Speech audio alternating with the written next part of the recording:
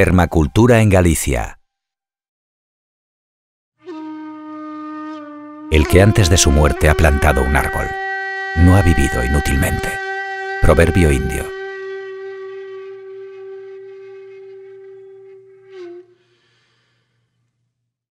Celidonia, planta medicinal.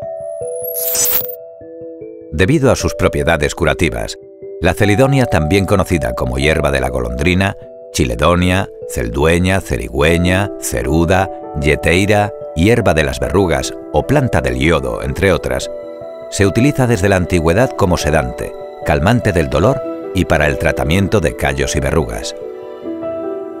Fácilmente podemos encontrarla creciendo de forma silvestre en campos, herbazales, caminos, terraplenes, tapias y viejos muros. Prefiere emplazamientos fríos y sombríos, por lo que su cultivo ideal será en sombra o semisombra. Resiste las heladas hasta 15 grados bajo cero. Es una planta herbácea perenne, perteneciente a la familia de las amapolas. Sus tallos son frágiles, de 30 a 80 centímetros y muy ramificados. Cuenta con vellos en la base con gruesos nudos. Las hojas, de color verde, son grandes, compuestas, alternas y de bordes dentados.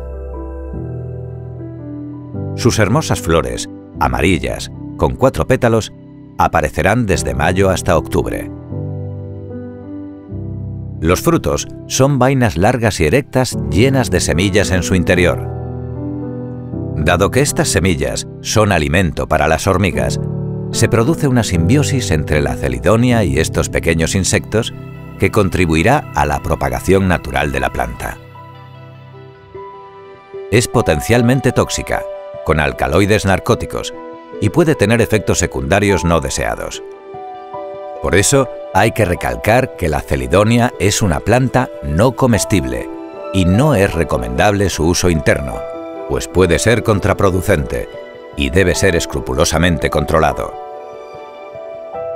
Su savia, un látex muy característico de color anaranjado, parecido al yodo, es lo que la hace tan interesante, ya que posee extraordinarias cualidades para su uso medicinal, pudiendo ser utilizado de forma tópica para abrasar las verrugas, ablandar los callos y como desinfectante y cicatrizante de heridas. Este látex pierde sus propiedades en poco tiempo. Por este motivo debe emplearse en fresco.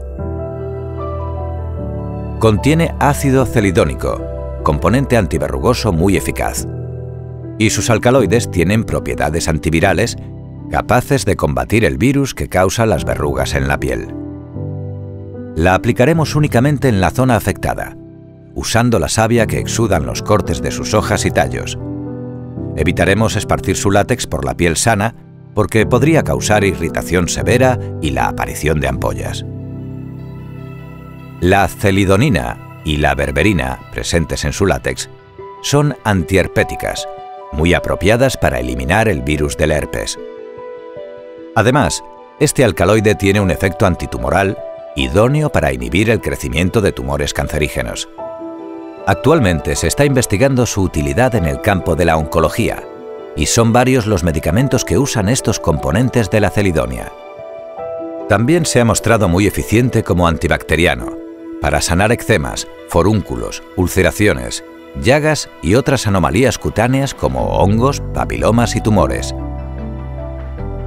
La celidonia es un claro ejemplo de que la naturaleza nos ofrece no solo alimentos ricos y saludables, sino también un sinfín de plantas medicinales y curativas para combatir todo tipo de enfermedades y dolencias. Razón de peso para destacar una vez más la importancia de preservar la biodiversidad de los ecosistemas.